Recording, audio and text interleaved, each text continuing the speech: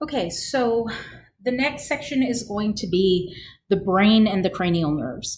So I'm sure everybody knows what the brain is. The cranial nerves are the nerves that emerge from the brain itself, as opposed to the spinal nerves that are emerging from the spinal cord.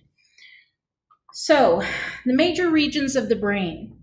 You've got the cerebrum in pink. That's kind of the big top to your brain. Dead center in the middle, you have the diencephalon. This is going to include things like your pituitary gland and your hypothalamus and your thalamus and the epithalamus and the subthalamus. Um, the midbrain is just this lavender portion right here. And then um, the pons and the medulla oblongata. These three things consist of the brain stem. Okay. And then back here, You've got the cerebellum, which literally translated, I believe, means little brain. Okay. As you can see, that medulla oblongata is actually continuous with our spinal cord. Okay. So a mid-sagittally cut brain. You can still see the cerebrum, the cerebellum. You can see the midbrain, the pons, and the medulla oblongata making the brainstem. Um, so dead center, that diencephalon, this little thing right here, you can see the thalamus, the hypothalamus. This little thing dangling down here, that's actually the pituitary. This right here, the corpus callosum, is a major connection between the two hemispheres of the brain. You have to remember that in order for communication to happen with the different parts of your brain, there have to be pathways for that to happen. And these pathways are actually made out of that nervous tissue. Um, when it comes to the gray matter in the brain, a lot of that is going to be the thinking part, the decision making part, things like that. The white matter, the myelinated portion, is actually primarily highways carrying information from point A to point B. Um, in your spinal cord, if you'll remember, you had the gray matter dead center with the butterfly, and the white matter was surrounding that as the columns. With your brain, it's pretty much exactly opposite. The core, most of the core of your brain is going to be white matter, just carrying information. The outer covering, the cerebrum of your brain, is actually gray matter. So that's a real human brain. Let's look at the pretty hand-drawn picture. Okay, so still the cerebrum, right? You've got um, that corpus callosum. You have the cingulate gyrus. See how this is just kind of one big piece of tissue? You also have something called the central sulcus. The central sulcus is a fold, sulcus is fold, by the way, that actually separates two really important gyrus. Gyrus being the actual solid portion, not the fold okay? You've got a pre-central gyrus and a post-central gyrus. You also have the parietal lobe. So think about the bones of the skull. You had the frontal bone, you had the parietal bones, you had the occipital bones, right? And the temporal. So the parietal lobes are right here, right where your parietal bone would be. Okay? The frontal lobe, again, it's right in the front where it would be. Here's the thalamus. Okay. See this right here?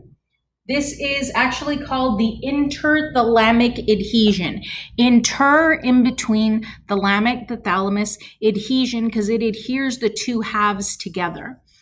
Um, the space that you have here is actually what we call the third ventricle. It's one of the places where we have cerebral spinal fluid flowing. Um, here is my hypothalamus. And if you come down, see this little dangly bit? This is the pituitary gland. Underneath here is that mammillary body. Um, the temporal lobe, temporal bone, temporal lobe on the side. Now, brainstem, midbrain, pons, medulla oblongata, brainstem. Coming this direction, the parieto-occipital lobe is kind of the, the connecting portion, or I'm sorry, parieto-occipital sulcus is the connecting portion between the parietal lobe up here and the occipital lobe back here of your um, cerebrum. Back here, you have the habenula, which is basically one of the parts of the diencephalon, the pineal gland, which is back here, and these two consist or make up the epithalamus. So the habenula is a part of the brain that associates smells with memories. So if you think about it, let's say, for example, me, my mom wears the same perfume that she's worn since, gosh, probably since I was about 14 years old. She wears white diamonds. So when I smell white diamonds, I think of my mom. The memory, that, that connection between white diamonds and my mom is an emotional memory. That's one of the things that the epithalamus does. It connects smells to memories. I'm sorry, the epithalamus, the habenula. The pineal gland is, um,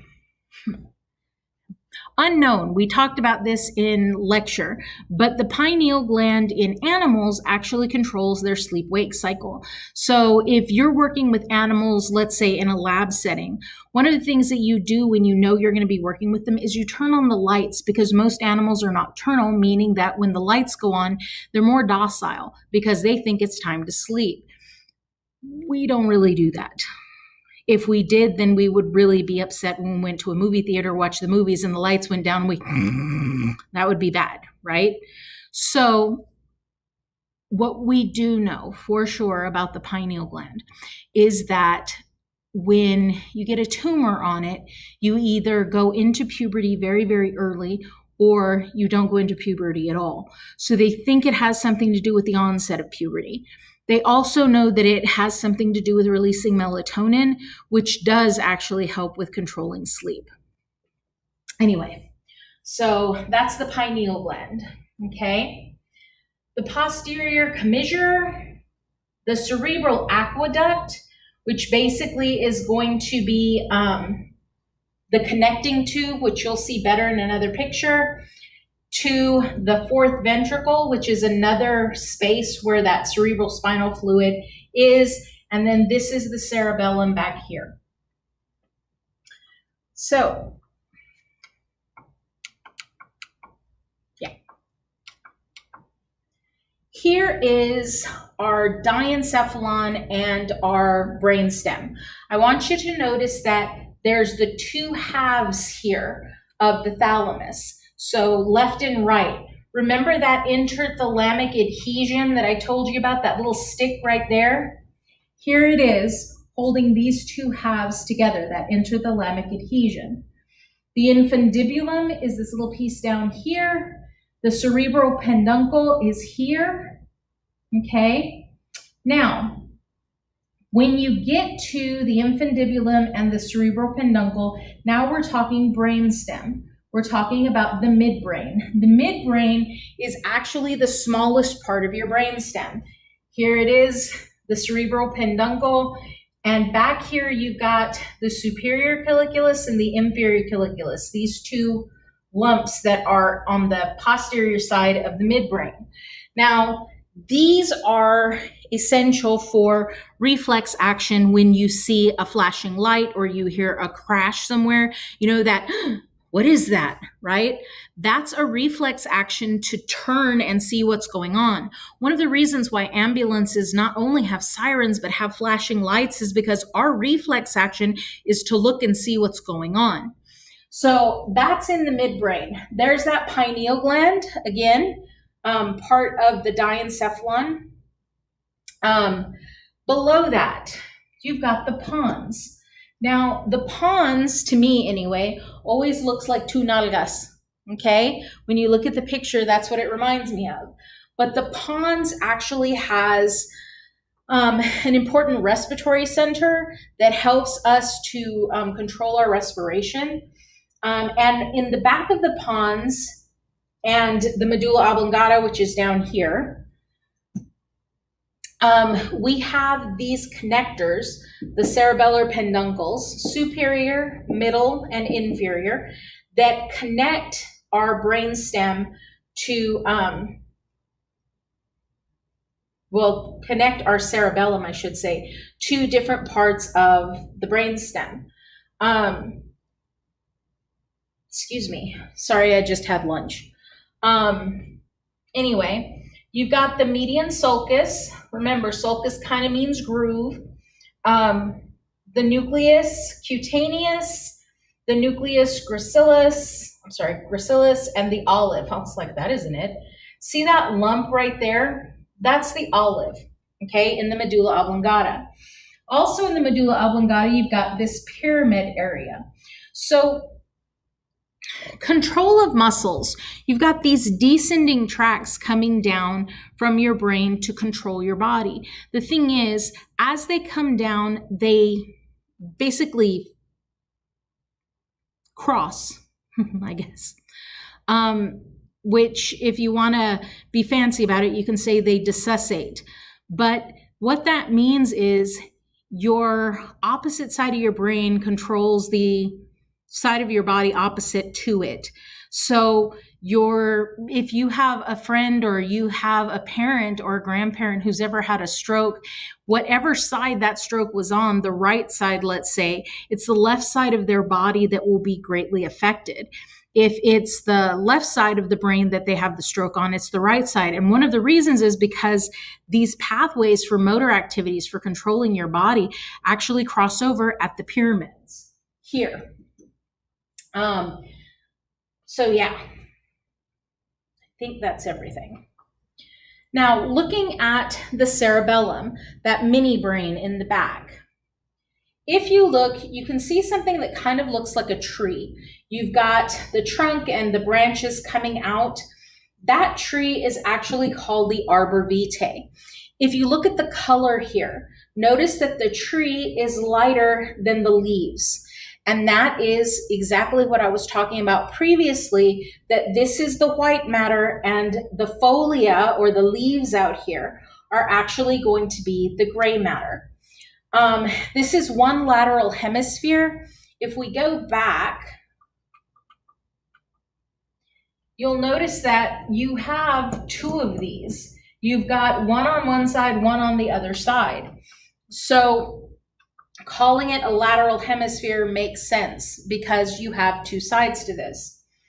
Um, the vermis are kind of the folds that you see. The folia are the ridges. Um, the posterior lobe, the back, excuse me, and of course the brainstem. You've got the midbrain, the pons, and the medulla oblongata.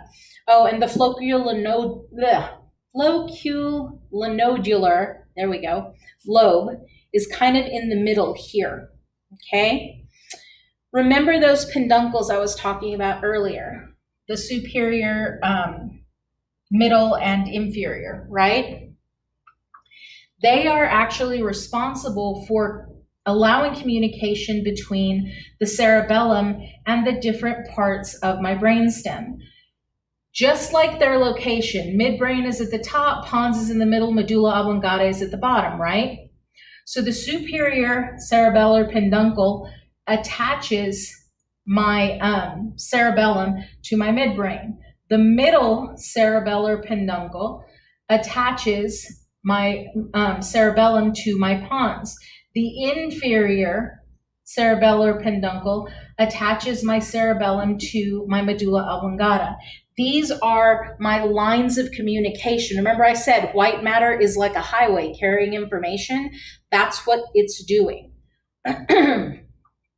so, looking at it from the top, remember I said lateral hemispheres. Well, this is a whole medulla oblongata, and you can see I've got a left and I've got a right.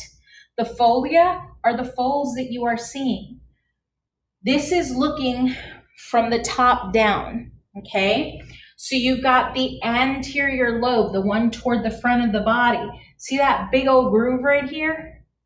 This is the posterior lobe. You've got one toward the front, toward your eyeballs, and one toward the back, toward well, your back. The vermis right here is actually the connecting point between the two lateral hemispheres. Okay? Now, this is inferior, so you're looking at the underside of the cerebellum. Again, that vermis is still there, that connecting point between the two hemispheres, two lateral hemispheres. In this case, um, you've got the left and the right because you're looking at it from underneath. Um, you've got the anterior lobe still. See that kind of enfolded lobe here, not this one up here, but kind of it's behind it. That's the flocculonodular lobe, okay? Um, you still have the posterior lobe back here, anterior lobe up here. Now, the diencephalon, going back, that thing right there in kind of a mid, well, a fluorescent green. That's what we're looking at. It's just isolated in the picture. Okay? Mid-sagittally, I have my thalamus. There's that interthalamic adhesion, that sticking point in the middle that I was talking about. If I were to take just the thalamus out, it would look kind of like this. It almost looks like a mini brain. Okay? And that interthalamic adhesion, that kind of cut off stump that we see here, is actually that piece right there that is holding these two um, lobes together. Just like here, we have the lateral hemisphere. Here, we've kind of got the same thing. We've got two lateral hemispheres, okay? And the thalamus itself actually does have different sections. You've got the medial nucleus, the lateral posterior nucleus, the pulvinar, which is that area there, the lateral geniculate nucleus, um, the lateral dorsal nucleus. This lighter green is the ventral lateral nucleus. This orange is the ventral anterior nucleus, and the red is the anterior nucleus. So you have different parts. And actually, all of these different parts do different things. Now, that's up here. Down here, below it, you have the subthalamus. Back here, you've got the epithalamus with that habenula that is the um, smell to memory. The pineal gland, which is right there, okay? Um, and then when you go past that to where it looks like there are skittles, that is actually the hypothalamus, which is blown up right here. And again, each one of those skittles represents a different piece or part. Now remember the mammillary body, we mentioned that before, it's right there. The posterior nucleus, the lateral area, the paraventricular nucleus, the preoptic area, the anterior nucleus, the supraoptic nucleus, the um, ventromedial nucleus, the arcuate nucleus. You even have the suprachiasmatic um, nucleus here. Um, the optic chiasm is actually, and I'll show it to you when we're looking at the um, optic nerve, but the optic nerves come in and actually kind of merge. That's the optic chiasm. And again, I'll show it to you in just a bit, but it's there. You can see it in this picture. Now, this little dangly thing right here, this is the pituitary gland, and you can see it here. Remember the sella turcica from the skull? It looked like a little saddle that a monito would sit in that's actually where that pituitary sits. It's inside of that little piece of the skull. Okay. So looking at the cerebrum. remember I said there's a fold that kind of um, divides the, the brain, right? That's right here. That's that central sulcus. And right in front of it is the precentral gyrus. Right behind it is the postcentral gyrus. These actually carry sensory information for one of them, and the other is motor information for voluntary movements. The sulci are the actual grooves that you have.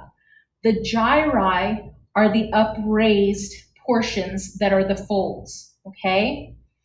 Looking at the brain, this is as if you're looking down, okay, from on top, like you're looking down at somebody's brain. You've got the frontal lobe, the parietal lobe, and the occipital lobe. Again, think of the bones of the skull. It's the same thing. Your frontal bone's up here, your parietal bone's back here, your occipital is here. Dead center in the middle of your brain, you have a huge fissure. Remember, there's fissures are deep cracks. This is the longitudinal fissure because it goes all the way along the two um, hemispheres of your cerebrum. Right hemisphere, left hemisphere. Okay? looking at it from the side, instead of being mid-sagittally cut, now it's intact. Here is that central sulcus, right? So the fold before it is the precentral gyrus. The fold right after is the post-central gyrus. Again, frontal lobe, parietal lobe, occipital lobe. Now, the one that we couldn't see before was the temporal lobe, which is right here. Again, temporal bone, temporal lobe. This fissure along the side is called the lateral fissure. Again, makes sense, lateral the side.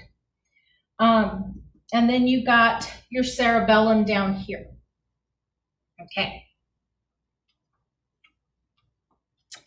So remember I told you that with your brain, it's different. The inside is white matter, the outside is gray matter. So if you look at this picture, see all of this that's kind of the lighter color? This is all white matter. The core of your brain, for the most part, not all of it, but for the most part, is white matter. These little bundles here are gray matter. But in your brain, we call them nuclei. This is where cells meet up with other cells. This is where communication is happening like that. So these dark gray matter areas in the core of your brain are called nuclei. Notice that the outer edge here is all darker than the inside. That's because this is the gray matter. Now admitted, the nuclei are made from gray or made out of gray matter, but these, or this, I should say, rimming the outside of your cerebrum is also all gray matter. It's one of the reasons why, if there's an open head wound, a lot of times they talk about being able to see gray matter. Because if you can see the top of the brain, if you can see any part of the brain, as long as it's not obliterated, it's going to be the gray matter that you will see. Now, remember I said that with the white matter, they're highways for communication, right?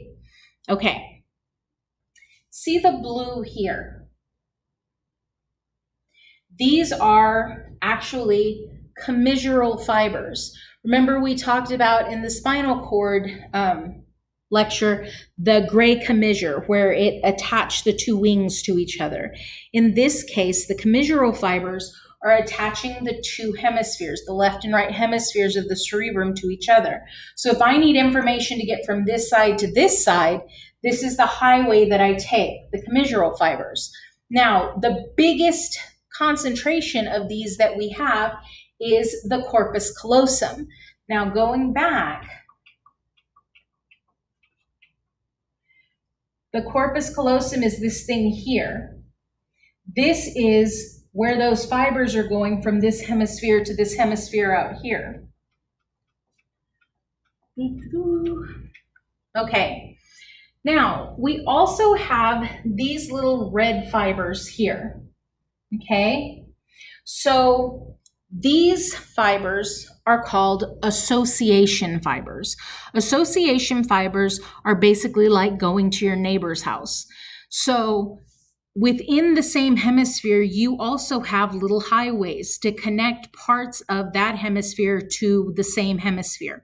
So maybe I want to go from here to here. That highway that I would use is called an association fiber. So that's what the red are.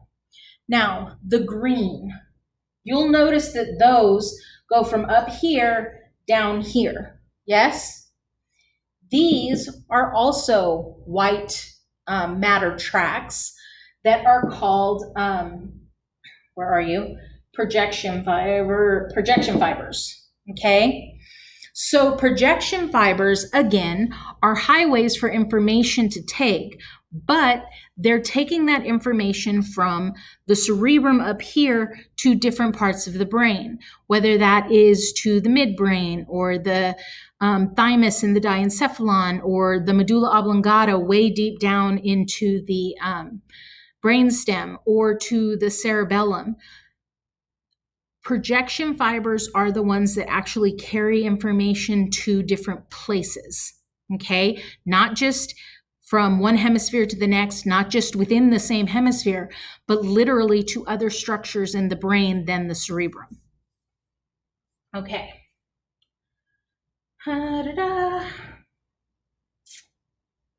Ah. So I said this before. Um, you'll hear two terms over and over, and they always mean the same thing.